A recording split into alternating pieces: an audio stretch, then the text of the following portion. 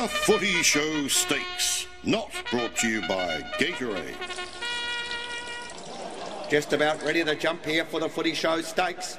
Racing, Eddie McGuire is first to jump on rank outsider named that big new stadium after me. Yep. Next is James Hird on Unapologetic, then Bomber Thompson on Scapegoat, and Jobe Watson on Brownlow was holding on for dear life.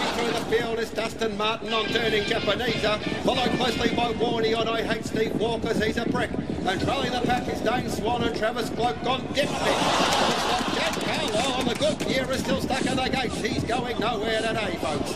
With 200 to go, James Hird on Unapologetic gets to the front as he grabs Bomber Thompson and throws him under a bus. Jobe Watson has nearly lost his grip on Brownlow, and it looks like Dustin Martin has already gone for the chopstick on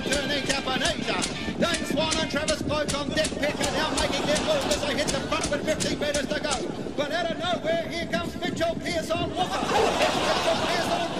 It's Deck Pick. It's Woofer. 10 from the post. Jeremy Howe throws Woofer a frisbee. And Dick Pick wins in a photo finish.